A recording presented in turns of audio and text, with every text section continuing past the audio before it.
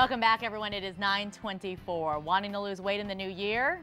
Why not? You don't have to wait till the new year. You can start now. That's why this morning we have Dr. Rob Ziltzer and also Dr. Craig Primack. They are from Scottsdale Weight Loss Center, and they are joining us this morning to talk about how you can take control of packing on those pounds even before you actually do it. So thank you both for being here, first of all. Thanks for thank having you. us. Uh, Dr. Ziltzer, talk about, you know, there are ways that there are things you can do now so you don't have to worry about the weight you gain afterwards, especially after we hear that the average person gains about six pounds just during this holiday season. That's right. You know, one of the things to do is to start early. Don't wait until your New Year's resolution because you're actually far less likely to lose weight if you put it off till later. We also recommend that, you know, when it comes to holiday eating, kind of stick to uh, more kind of leaner and gre greener eating um, and do something called preloading. So you start your meal with a you know, big glass of water, 16 ounces of, of water or non-caloric beverage, uh, as well as maybe a large salad so that going into the meal you're kind of partly full. Do you suggest doing that even before you go to like say a holiday party? Because a lot of people will be tempted when they're at parties.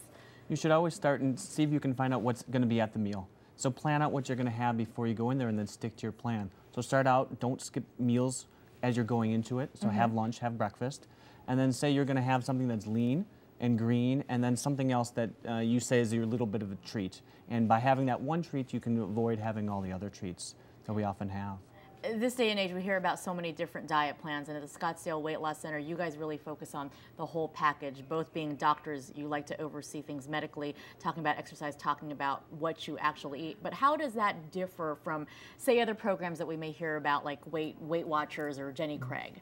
We are medical doctors, and as such, we can do things that are much more aggressive than a commercial plan can do. Our patients typically lose six pounds the first week and then two to seven pounds a week thereafter. Uh, we can prescribe appetite suppressants if you are hungry.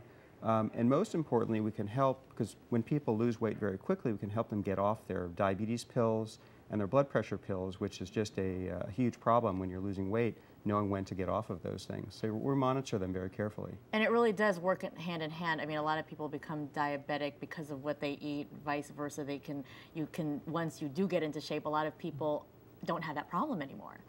With just a little bit of weight loss, a lot of people can come off their blood pressure medicines and their diabetes medicines uh, within the first one to two weeks of, of starting a diet program. Okay. Well, now that we know some of the things we should be doing, what about some of the things we should avoid, especially this time of the year, this holiday season? One of the biggest problems I think people have is they have very high carbohydrate diets, very high sugar, very high starch diets.